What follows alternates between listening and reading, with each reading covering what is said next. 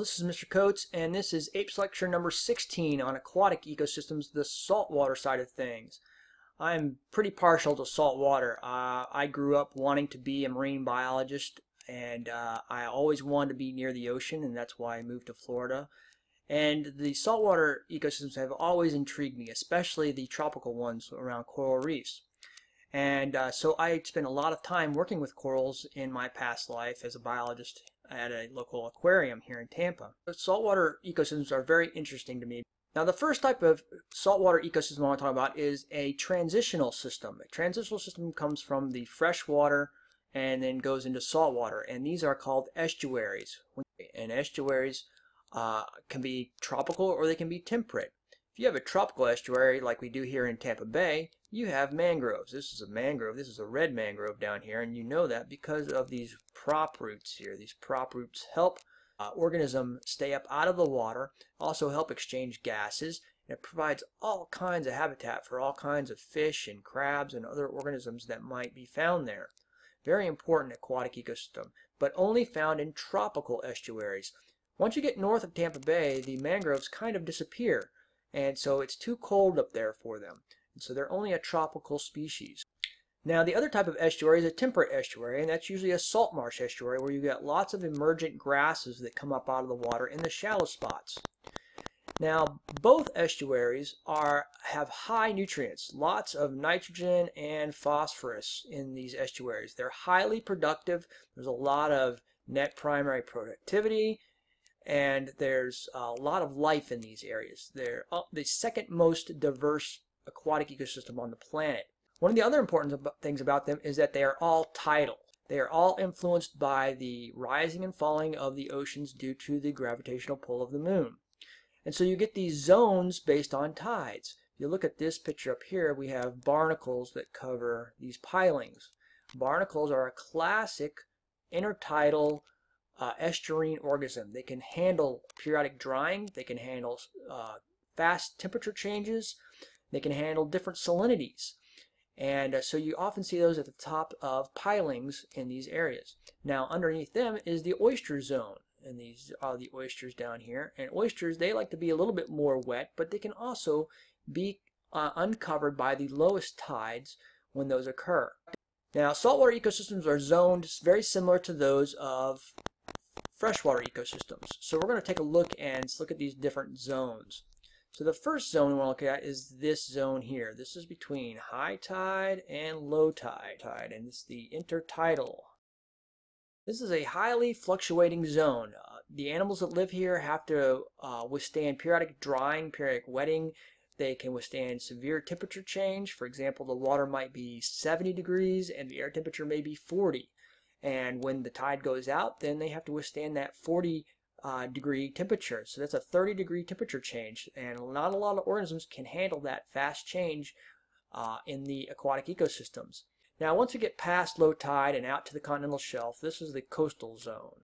Now the coastal zone is usually where we do most of our recreation, where we do a lot of our fishing, and uh, it's where it's mostly affected by man. So we'll look at the coastal zone here a little bit later and at the separate coastal ecosystems that are out there.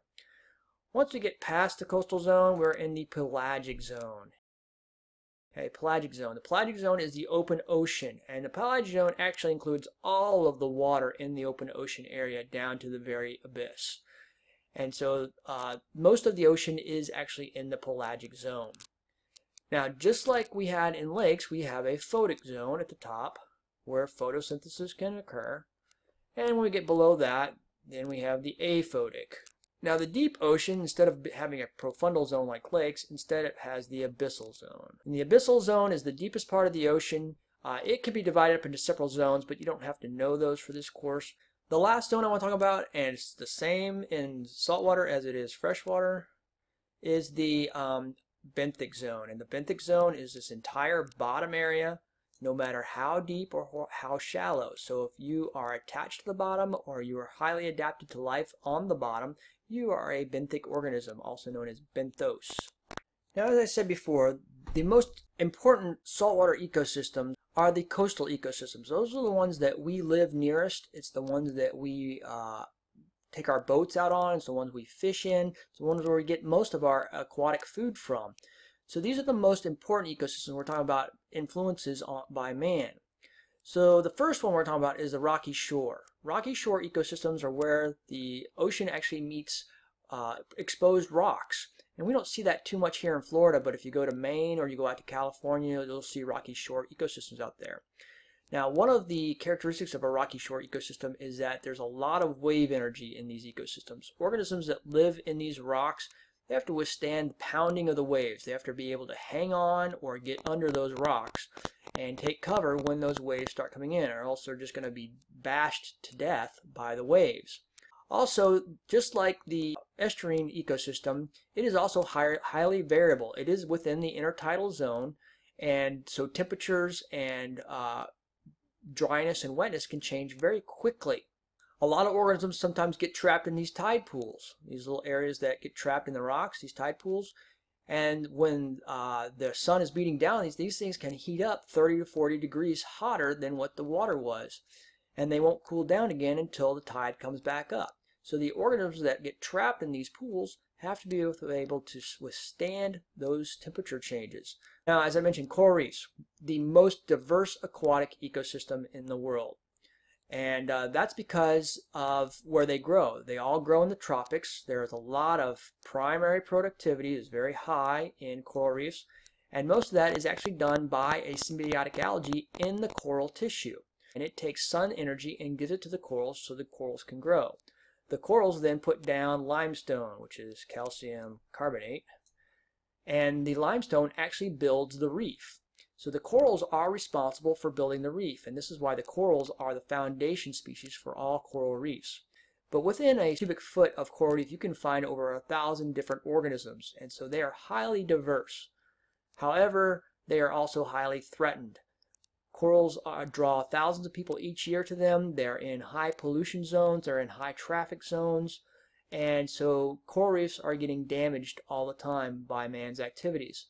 Also, they're highly susceptible, to climate change. Corals only like a certain temperature, and when the ocean warms up, they expel those zooxanthellae I told you about, and they can no longer get the energy from the sun.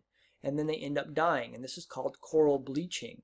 Now, one of your favorite coastal ecosystems probably is the beach. You guys go to the beach quite a lot, and uh, you guys view this ecosystem all the time. A sandy shore is very important to the coastal ecosystem. One of the most important things it does is that it prov provides a barrier against large storms. This is one of the problems with uh, that happened with Hurricane Sandy. When Hurricane Sandy came ashore in New Jersey and New York, all of these beach ecosystems were built upon. So there are buildings there instead of these protective dunes that you see in this ecosystem. And in those areas where there was no protection by these dunes, we had lots and lots of damage to human uh, structures. Development on barrier islands or on sandy beaches is not a good idea because they are barriers to these storms. One of the things about them is that they constantly move, they constantly shift, so the sand is constantly moving back and forth on the beach, and then sometimes it erodes away and the water moves up, and then sometimes sand is put back in. So if you built a house out here and the sand erodes away, then your house is going to fall into the water. It's not a good idea to build on barrier islands, but we do it all the time because of the dollar. The dollar always runs everything, and so these critical habitats are destroyed. We build hotels and resorts and houses on them, and then we end up spending billions of dollars out here to re-nourish and put the sand back because somebody else's house is there. And this is your tax dollars here at work. In my mind, that is a huge fleecing of your pocket because you are paying for this, uh, not the people that have their houses out here and not the people who have hotels out here. Now, when we get out in the open ocean, the ecosystems kind of drop off. There's not a whole lot of primary productivity out there. The only place you have primary productivity is at the surface where you get a lot of sunlight, and that's where the phytoplankton can grow. Phytoplankton are marine plants. They're microscopic. Now, there are a few places where you have floating ecosystems out in the middle of the, eco in the, middle of the ocean. One such place is here in the middle of the North Atlantic Ocean called the Sargasso Sea. This is sargassum. It's a floating seaweed. It has these little gas bubbles that you see right here, and that allows it to float. And it collects in large floating masses out in the Sargasso Sea, which is in the middle of the Atlantic Ocean. This provides crucial habitat for a lot of organisms that are highly adapted to this weed. They look just like it. They're very well camouflaged. And also, a lot of baby sea turtles go out here and grow up. Other things that happen out in the middle of the ocean is that because of our use of plastic on the planet now, plastic floats, it does not degrade very well, and we're creating these large garbage patches out in the middle of our oceans where they collect in the gyres that you see all this different kind of trash that's floating out in the middle of the ocean where no one lives or no one spends hardly any time. And we're starting to see larger mats all the time, especially in the Pacific. Uh, if you're more interested in this, look up Pacific Ocean, uh, Pacific Garbage Patch. The last saltwater ecosystem I want to talk about are the abyssal ecosystems. Now, the abyssal ecosystems we have to remember are in the dark. They never get any light whatsoever, so very low primary productivity for the most part. In fact, most of the organisms that live in the abyss depend on this stuff right here. This is actually what we call marine snow. It's not snow, though. It's actually the decaying and dead remains of organisms from the photic layer above the abyss that sink down very slowly to the bottom of the ocean. And so these provide energy for most of the abyssal ocean. Now, one exception to that is where we find hydrothermal vents. Hydrothermal vents were discovered in the 1970s. This makes them a really, really recent discovery. And the interesting about them is that they are not based on solar energy. Up until the 1970s, we thought every ecosystem in the universe had to be based on solar energy because that was the only way we knew that energy came into the ecosystem. Well, with the discovery of these hydrothermal vents, we found out that this whole ecosystem is based on the sulfur compounds that are spewing out of these events. So water seeps down to the earth, it warms up because of the mantle, it dissolves minerals like sulfur, and they get spewed out of these vents. Now this is very hot water, but around these vents you have these large clusters of bacteria. Also you see these large clusters of worms out here. These worms have these bacteria in their tissues as symbionts.